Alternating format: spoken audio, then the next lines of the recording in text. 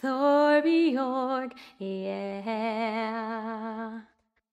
One happy birthday dot com.